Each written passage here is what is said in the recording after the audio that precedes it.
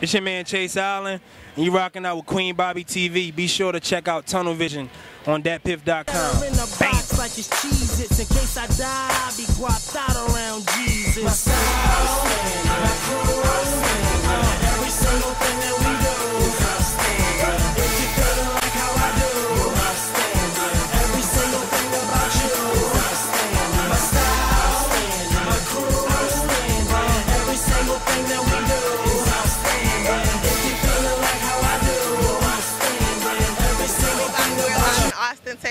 South by Southwest Music Festival, and I'm joined by the very handsome Chase Allen. Where are you from? From Philadelphia, Pennsylvania.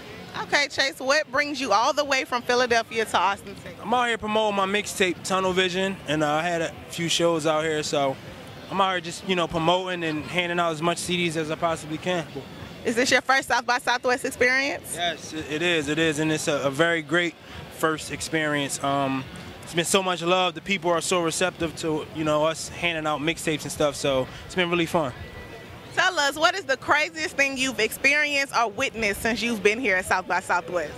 Um, not really too much lately, not yet, because I just got here yesterday. So um, hopefully I experience something crazy, but um, I'm sure you're gonna run into a few naked people walking up Sixth Street. right. I mean, uh, the most interesting thing I did was uh, I seen uh, Master P perform yesterday. So that was like, it blew my mind. You know what I mean? Were you crunk? Make them say, uh. Yeah, I definitely was. Was.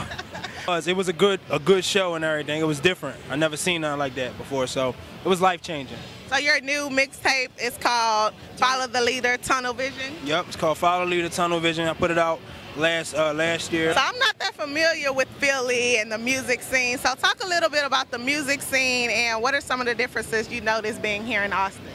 Um, the difference is people people are more uh, music friendly here, and you know it's a culture down here. Um, Philadelphia's a culture too, but I don't know too many people that's going to pay nine hundred dollars for a four or five day pass, you know, to visit a music festival, and people are doing that down here. So that's the difference, and uh, it's a, it's a lot of uh, support as- far as Philly with the underground scene, and you know each artist, underground artist, is supporting each other. So. hey are you currently working on any new projects, anything lined up for the future? future? Yeah, I'm uh I'm always working on new music. I have a EP I'm gonna put out. I don't have a, a direct date on it yet, but I'm always working on new music. I record like every other day. You know what I'm saying? I got hundreds of songs, so I'm always staying creative and you know staying in the mix of creating music.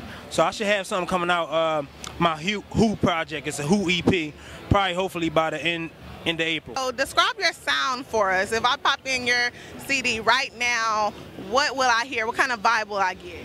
Um, it's really like conscious hip hop mixed with, uh, you could say like that classic '90s feeling hip hop. I rap over a lot of samples, and um, my music is inspired by like Nas and you know Kanye West. You know the greats, the great lyrical artists that came before me. So that's pretty much it.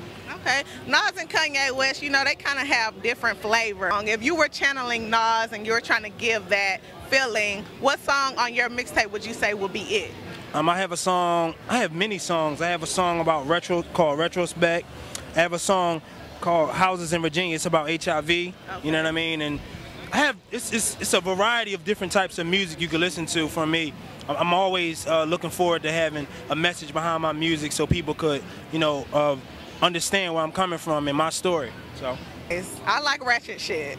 So, can I hear some ratchet music if I put in your mixtape? nah. Can I twerk a little something? Um, nah, not really. I mean, you could, you could if that's what you're into. I mean, most of the beats are samples and stuff, so you can, but I, I, I can't get in the ratchetness. You know what I mean? Is not recommended. You could probably play it at a family reunion or something. You know what I mean? And get your groove on with your E and J in your cup. Step in the name of love. Right, right. But as far as getting crunked and dread shaking and booty clapping, nah, nah, nah. So, any final thoughts? You have any social networks, websites?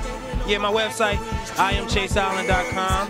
You can follow me on Twitter at IamChaseAllen, and you can find out everything about me. Look forward to seeing me a whole lot because we grinding. Bank account mafia, bam. I don't think you feel me. Worth a couple bucks, you could probably steal me. It's like military camp, girls are sergeants. Cause for some reason they always wanna drill me. I be on money like bees on honey, like like grandma's cooking on Sunday night. The way the economy.